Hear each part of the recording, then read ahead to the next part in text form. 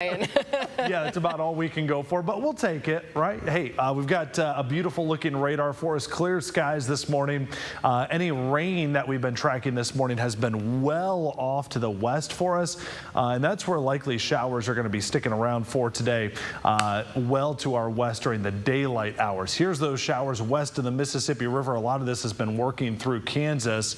Uh, check this out. Severe weather threat today from southern Missouri, Arkansas into Tennessee obviously well to our south. And so when you look at our forecast, uh, today's going to be dry. Lots of sunshine. Clouds will bubble up a little bit this afternoon, uh, but you'll notice a pretty nice day. We're dry through the sunset.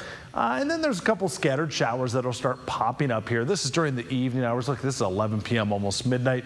Best or highest chance for rain is going to be south down towards the Findlay area. Further north you live, the less likely you are to see the rainfall. And uh, even if you get some showers overnight, it's going to be ending by sunrise. Tomorrow, just a lingering pop-up chance for a shower or two. I think we're looking pretty good here. Again, generally heaviest rainfall is going to be south, but even there, most spots a quarter inch or so. Maybe that's about it.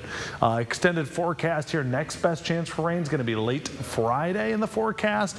We'll try to get those showers out of here by Saturday. Weekend at this point looking pretty good. Again, a few more chances for some showers next week, but uh, I think we can handle this, guys. Highs still in the yeah. 80s. Look pretty good for us. Not bad. Yeah, 80s, 80s work. Yeah. Tolerable. I'm, I'm happy with that. All right.